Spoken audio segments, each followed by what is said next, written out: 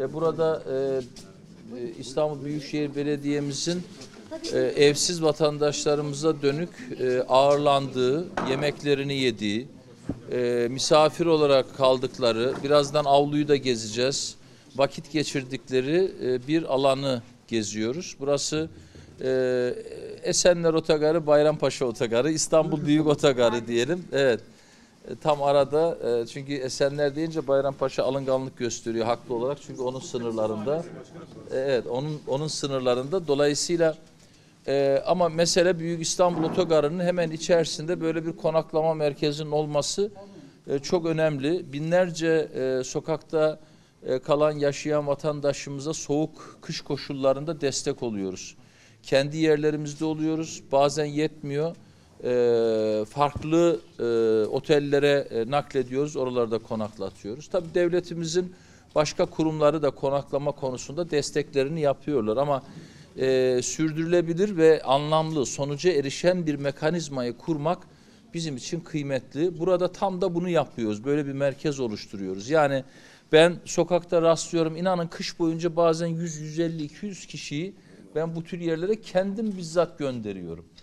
Ee, ve e, geliyorlar ne ne yaşadıklarını da anlatıyorlar. Ne istediklerini de anlatıyorlar. Dolayısıyla diyorum ki bir buraya geldiğinde önce onu biri dinleyecek. İki kalmak mı istiyor? Kalacak zaten. Üç ihtiyaçlarını görecek. Tıraş olacak, bakımını yapacak vesaire. Dört bir kısım sağlıkla ilgili konuları muayene edilecek. Onlar bir e, elden geçirilecek. E, e, eğer acil bir şey varsa başka yere nakledilecek ama burada belli koşullarda dinlendirilip ak- e, giderilecek bir koşul varsa o halledilecek. Onun dışında dördüncüsü e, buraya gelen bizim vatandaşımız köyüne gitmek istiyorsa, memleketine gitmek istiyorsa, e, artık buradan e, çaresizlik içindeyse maddi desteğini güçlü bir şekilde yapacağız. Burada ba- bahsettiğim o İstanbul Büyükşehir Belediyesi yanında, zor anında yanında kavramı tam böyle olmalı. Ve gerçekten onu vatandaşımızı köyüne yollayacağız. Hazır yanımızda da otogarımız var. Otogarımızla birlikte yollayacağız. Ee, onun dışında yine e, burada geldi geri dönecek ama giyimi kuşamı yoksa e, işte e, efendime söyleyeyim e, montudur, pantolonudur, ayakkabısıdır, belli ihtiyaçlarıdır gidereceğiz. Devletin eli sıcaktır. Devletin e, devletin mekanı yuvadır. O duyguyu biz burada sokakta kalan vatandaşlarımız için elimizden geleni yapacağız. Sadece onlar mı değil, yoğun bir miktarda mülteci ve sığınmacı e, nüfusun sokakta yaşadığını görüyorum. Bazen gencecik çocuklar sohbet ediyorum. Bizim vatandaşımız zannediyorum. Meğerse misafirimizmiş. Ben Suriyeliyim diyen, ben e, Irak'tan geldim diyen, Afganistan'dan geldim diyen gençleri de rastlıyorum yoğunlukla son zamanlarda. Onlara da aynı özeni, aynı sıcaklığı burada göstereceğiz, bakımlarını gidereceğiz ve onları mutlaka eğer varsa kendi e, koşullarından dolayı devletimizin sunduğu bir imkan. Çünkü mülteci sığınmacı konusu ne yazık ki sadece merkezi idare tarafından yönetilmektedir. Biz bu konuda ne bir bütçeye sahibiz ne de bir yetkiye sahibiz. Keşke olsa yerel yönetimle dayanışma içerisinde olduklarında daha hızlı çözüm bulunabileceğini ben birçok yerde dile getirdim ama şu anki hükümetin tercihi böyle. O zaman varsa öyle bir durum hemen orada vatandaşımızın bakımları yine yapılacak, ihtiyaçları giderilecek ve ilgili kuruma nakledilecek ya da onlardan destek istenecek buradaki konaklama sürecinden sonra. Dolayısıyla bu merkez çok kıymetli. Ee, ihtiyaç olunduğu kadar devamını arkadaşlarım yapacak ama bir talimat daha verdim. Özellikle belli lokasyonlarda örneğin Taksim civarı. Örneğin Aksaray bölgesi, belki bir de Anadolu yakasında Kadıköy, Üsküdar ve yakın bölgelerde ki bana bu sabah e, bir vekilimiz Zeynel Emre Bey bir mesaj attı. E, Sancaktepe'de yanılmıyorsam ya da Gazi Osman Paşa tam şimdi e, yanlış bir şey e, göndereceğim onu size. E, bir vatandaşın, evsiz bir vatandaşın sokaktaki çığlığı diye bir paylaşımı attı ve sahip çıkabilir misiniz diye yazdı. Onu da yollayacağım. Dolayısıyla bir tane de Anadolu yakasında olmak kaydıyla sadece lojistiğini ve diyaloğu sürdürecek bir e, merkezin oluşması şart. Yani geldi, konuşuldu, nakledilme yeri oldu, Bazı ihtiyaçları hızlıca giderildi, montu vesairesi. Belki bazı tetkikler yapıldı. Yani ben nereye gideceğim, ne ne yapabilirim demeyecek. O mahallelerin muhtarları bunu bilecek. İlçe başkanlarımız bunu bilecek. Siyasi partiler bunu bilecek. Kurumlar kuruluşlar bilecek. Hemen şuraya adrese diye gönderebilecek.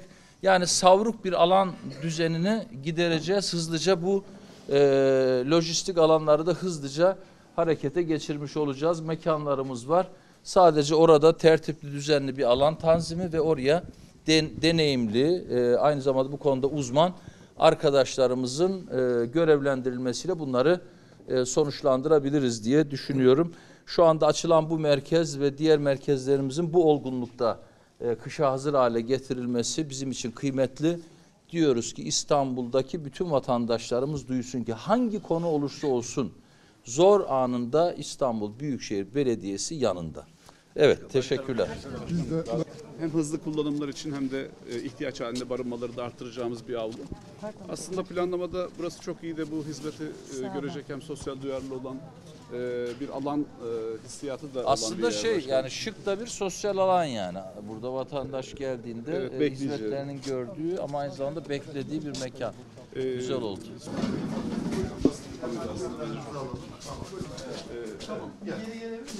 Başkanım, Süit odalarda ailelerin de ihtiyaçları olacağını tahmin ediyoruz. Ee, e, Böyle olduğunda da e, ranza sistemli ya da e, koğuş sistemli şeyin dışında ailelere buraları teslim etmemiz gerekir. Isıtma ile ilgili e, Bugün şeylerimiz konforlu değil mi? bir sorun evet, yok. bir sorun yok başkanım. Bugün biraz kapılar açık olduğu için e, siz öyle Yok, sorun hissediyorsunuz. Ee, İçeride. Bu, bu odalardan e, iki tane birimi daha da arttırarak e, biraz da bekleme sürelerini geçecekleri sosyal alan üretmek istiyoruz. Mekan buna izin vermedi ama onu da e, inşallah adapte edeceğiz bizim mekana. Aile ihtiyacına dönük bütüncül kalabilecekleri bir, bir yer. alan. Bir alan. Başkanım buranın yapılmasına esinlendiğimiz hakikaten bir aile saat 11'de geldi. Sabah 8'de hastaneye gidecekti. Biz onları sabaha kadar misafir etmek zorunda kaldık. Bu tam ondan esinlenerek planlanmış bir e, mekan. Aslında Fahrettin Bey de bir şeye temas etti. Siz de dediniz ya geldi e, sokakta açıkta kalıyor. Kalmasın burada konaklasın kısmına da destek olacak. Dolayısıyla kış dönemi dışında da burası aslında çok verimli, randımanlı kullanılabilir. E, işte başkanımız otobüs garajında üniversiteye gittiğinde otogarda otobüs e, ofisinde kaldın diyor iki gün. İki gün Sandalye üzerinde yattık iki gün. Samsun'da mı kalmıştım? Samsun'da. Demek ki burada öyle so- sokakta sandalyede yatma yok. Gel kardeşim seni misafir edelim diyeceğimiz bir yerimiz var. Ee, burası devletin en sıcak ellerinden biri olsun inşallah. Misafir ailelerimiz de.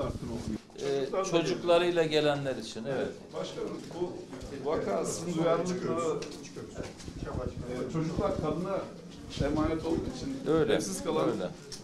kadınların da yanlarında çocukları da var. Genelde. Genelde. var. Genelde. Çocukların ihtiyacı olduğunu bildiğimiz gibi.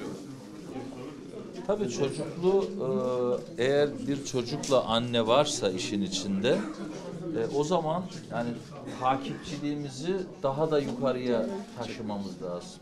Yani bir çocuk var, bir anne var, bir yuva varsa işin içinde çocuğun eğitimi, e, daha sonraki konaklama kısmı, okul devamlılığı vesaire yani tabiri caizse elimiz hep üstünde olacak onun. Onu mutlak sonuna kadar çözüme kavuşturmayı e, hedefleyeceğiz ve ettiğinizi biliyorum. E, ve asla geri durmayacağız. E, Başkanım bir bebek kadınla beraber kadını mahallede daha yakından takip etme imkanı da olursa inşallah. evet. Birimler birbirine çok yakın. Çok zor durumda kalan bir aile olduğunda da burası çok işinize Tabii, yarayacak. tabii Anlık ki. illa sokakta yaşayan kavramının dışında. Çok. Kaç devamını Ee, Henüz yapılmadı, arttırılabilir, yakın tarihe doğru getirilebilir başkanım. İç için şimdi. 44'e kadar. Bence biraz daha devam edebilir. Hele şu e, 70'ler 80'ler aslında ilginç bir dönüşüm dönem yani. İyi misin? Yaramazlık yok değil mi? Sağ ol. İsmim Yusuf Aslan, Evet. Esenler Namık Kemal Evet, Mahalle evet. Muhtarıyım Başkanım. Muhtar olduğunu Yani hatırlıyorum. e, otogardan sonra çıktığımız zaman ilk mahalle benim mahallem. Çok güzel bir proje olmuş. Bu tür olaylarla karşılaşıyorum zaten. Muhtarlığıma gelip de... En muhtarlık- çok bunun kapısı Evet, çalacak. evet, aynen. Dedim ya içeride. Evet. En çok muhtarların kapısı çalacak. ilçe başkanlarının Aynen, kapısı çalacak. aynen başkanım. Muhtar nereye ararım? Hemen yanı başı Aynen, buraya arayayım. aynen başkanım. Şeyde de öyle işte bu Aksaray'da e, açacağınız yerler orada var en az Fatih, Beyoğlu, Şişli, Beşiktaş, e, ne bileyim Kağıthane, Eyüp Sultan. E, bu, o, yani evet o bölgeler o bölgelerde en az var 100 tane muhtarlık. Çünkü zaten 40 tane şeyde var. Fatih'te var 40 küsur tane. Yani 100 tane muhtarlık var. Hemen arayacaklar. Aramayacak, alıp getirecek hemen oraya. Yani öyle bir lokasyon. Kış koşullarından negatif etkilenen.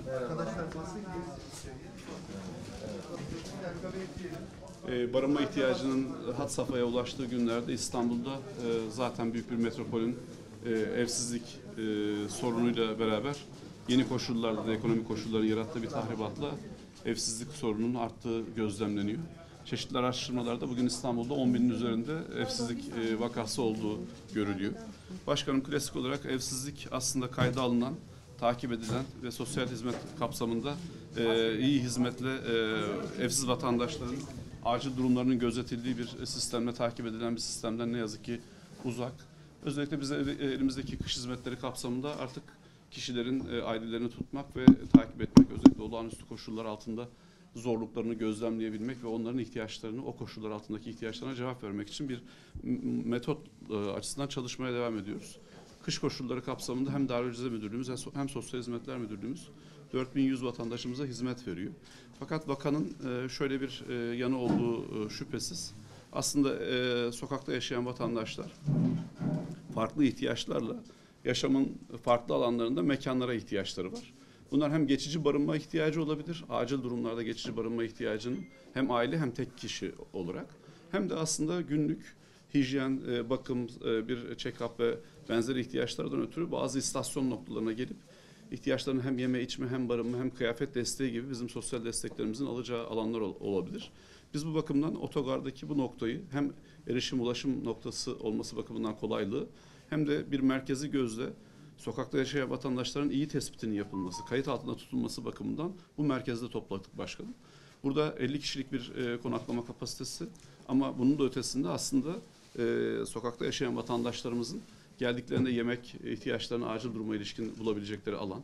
Bir kayıt sistemiyle aldığımızda onlara kış koşullarına ya da farklı koşullarda özellikle kış koşulları hayati tabi e, kıyafet desteği ve e, belirli periyotlarla yapılacak e, fiziki yardımların e, e, sistematize edilmesi. Ama en önemlisi de hem sosyal e, şu an içinde bulunduğumuz alandaki sosyal incelemeci arkadaşlarımızın hem psikolog gibi destek e, alanlarıyla beraber sokakta yaşayan vatandaşların ihtiyaçlarını yakından takip eden, ona ilişkin çözümler sunan bir yaklaşıma geçtik başkanım.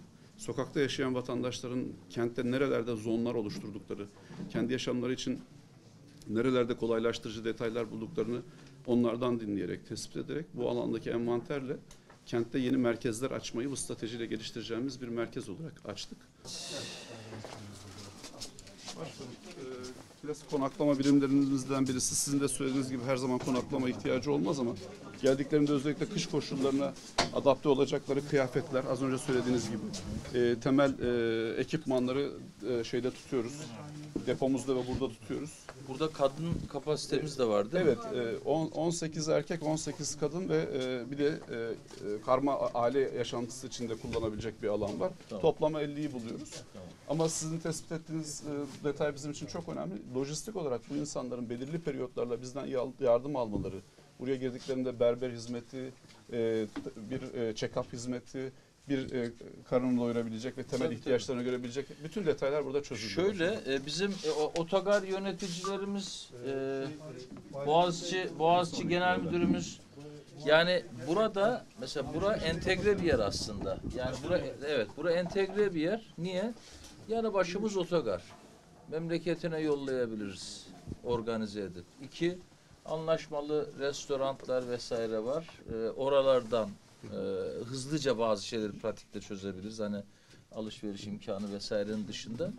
E, burada da e, organize bir ekip çalışıyor. Hem e, otogar yönetimimiz hem e, Boğaziçi e, Genel Müdürlüğümüzün burada diğer hizmetleriyle beraber bütünlükçü yaklaşım. Oradan da faydalanarak aslında doğru bir lokasyon seçmişsiniz. Tebrik ederim. Onu e, bir entegre hale getirdiğinde Orada e, kütüphanesinden sosyal amaçlı birçok yeri var. Yaşam alanı var orada. Yani o o entegrasyon içerisinde sorunları biraz daha sağlıklı çözüme e, kavuşturabiliriz. İyi bir iletişim kurmanızı istiyorum yani. Evet. Gelip kıyafetleriyle hemen değişim yaptıktan sonra hızlı kurutacak. Hemen ona cevap verecek. Sadece basını alalım.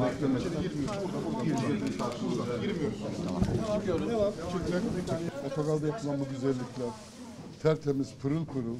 Bir de atalarımızın en güzel geleneklerini burada uygulamaya başladınız. Hakikaten sektör ol. adına- Bu çok önemli bir ihtiyaç. Evet, Çok yaşadık bunu. evet, ben 40 evet, senedir bu sektörün içindeyim. Başka bir şey daha yaptılar arkadaşlarımız. Onlara teşekkür ediyorum. Ben bu projenin başlangıcından beri varım. Mehmet. Çubuk hocamız vardı.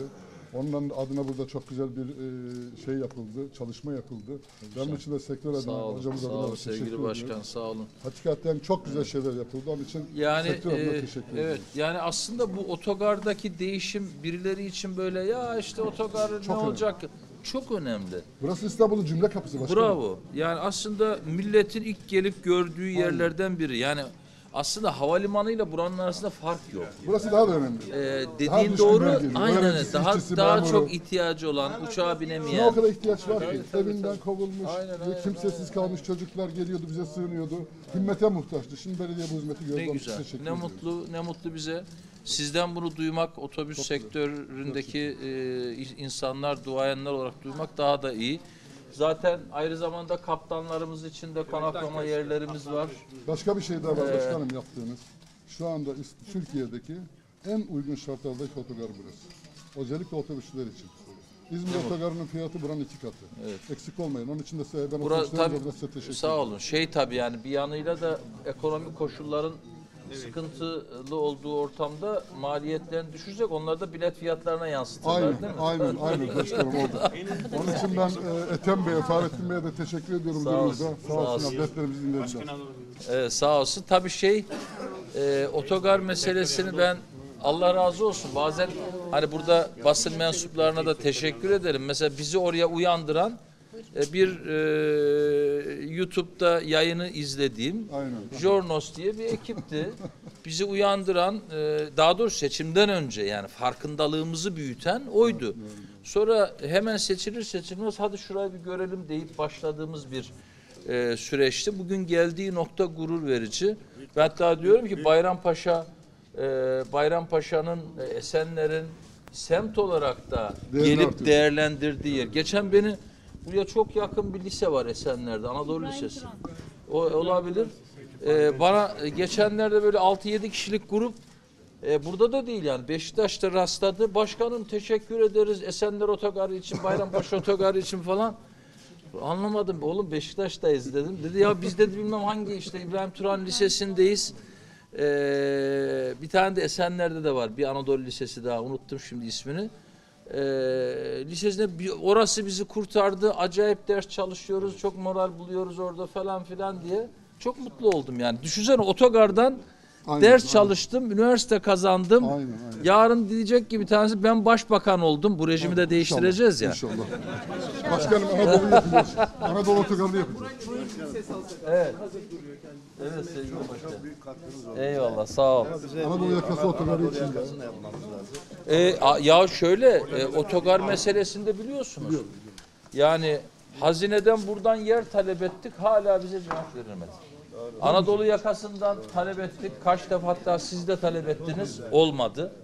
Yani bir pratik çözüm bulalım dedik. O da ekonomik gerekçelerle oturmadı. Yani bir pratik çözüm bulalım. Ha- Haremin e, alternatifi bir yeri. Fakat mekanda yapacağımız iş, e, birkaç yıllık çözüm o yaptığımız maliyetin yarın yazık günah dedik. Yani bütçeye oturmadı. E, ama bu Murat e, Bey'le konuştuk başkanım. bunu çözeceğiz. Murat Bey'le konuştuk. İnşallah. İnşallah konuşuruz onu.